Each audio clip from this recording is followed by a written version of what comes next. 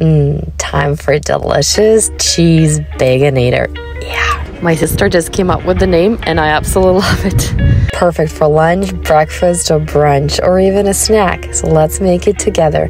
First, cut your bagel in half and put it on a baking sheet. If you have parchment paper, perfect. You know what? I ran out. I just sprinkled with some oil on the bottom and it was great. And then you crack an egg in the center, add your cheese. We have cheddar and mozzarella here, some fresh herbs, salt and pepper, any other spices you might like, and put it in an oven at 180 for a few minutes until your egg is cooked. If you like them runny, of course, turn it off earlier. Voila!